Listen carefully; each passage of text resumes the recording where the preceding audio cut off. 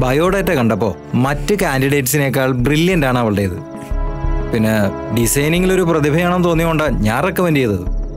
പക്ഷേ അത് ഇതുപോലത്തെ ഒരു കുരുക്കാവുമെന്ന് ഞാൻ അറിഞ്ഞില്ലല്ലോ. അറിഞ്ഞിരുന്നെങ്കിൽ എപ്പോഴേ ഞാൻ ഒഴിവാക്കി വിട്ടേനെ? എന്തായാലും കഴിഞ്ഞത് കഴിഞ്ഞു. ഇനി ശല്യത്തിന് വരില്ലല്ലോ.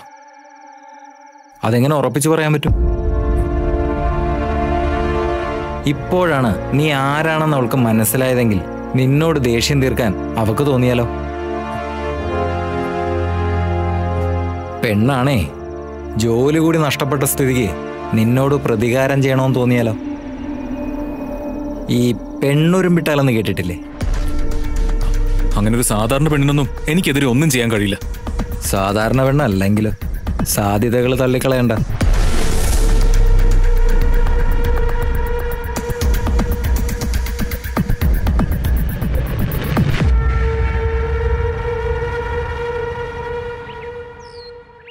കൺമണി ഓഫ്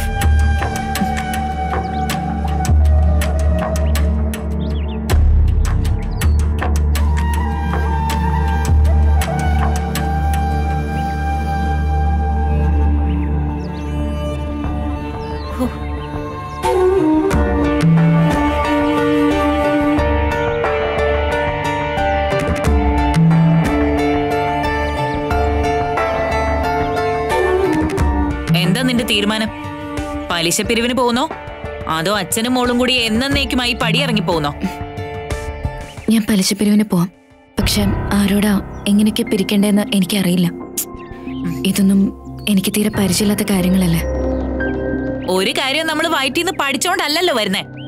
പലിശയും കുടിശ്ശികയും സഹിതം തരാനുള്ളവരുടെ ലിസ്റ്റ് കൃത്യമായി ഇതിൽ എഴുതിയിട്ടുണ്ട്.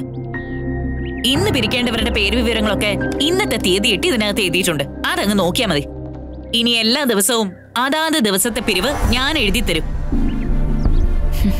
മാർക്കറ്റിലുള്ളവരെ പലരും പല തരക്കാരാ. ഇറച്ചി വെട്ടുകാരന്റെ സ്വഭാവം ആയിരിക്കില്ല ഉണക്കമീൻ വിൽക്കുന്നവന്. പച്ചക്കറി കടക്കാരന്റെ രീതി ആയിരിക്കില്ല പലചരക്ക് വിൽക്കുന്നവന്. എല്ലാവരോടും അതിന്റെ തഞ്ചത്തിനും പാകത്തിനും നിന്ന് കാശ് വാങ്ങിച്ചെടുക്കണം. പിരിവ് കാശും കൊണ്ടല്ലാതെ ഇങ്ങോട്ട് വന്നേക്കരുത്. സ്കൂട്ടറിന്റെ ചാവി. പിരിവ് കഴിഞ്ഞേ വണ്ടിയായിട്ട് അതിലെ ഇതിലേം കറങ്ങി നടക്കരുത്. വണ്ടിയിൽ പച്ചവെള്ളമല്ല പെട്രോൾ ഒഴിക്കുന്നെ. ആ വിശക്കുന്നെങ്കിൽ വേണേൽ ഒരു ഊണ് കഴിച്ചോ അത് സാധാ ഊണ്. ഇറച്ചി മീനും ഒന്നും വാങ്ങിച്ച് കാശ് കളയരുത്. മനസ്സിലായോ? എന്നാ പോക്കോ.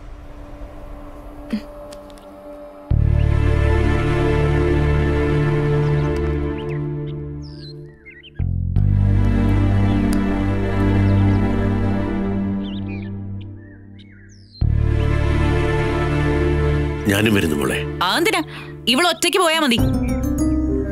ഞാൻ എന്റെ പണിസ്ഥലത്തേക്കാ അയ്യോ പണിക്ക് പോവാനോ? അച്ഛന് സുഖമില്ലാത്തല്ലേ എനിക്ക് പാസ്വേഡ് കുറവുണ്ട്. കുഴപ്പമില്ല.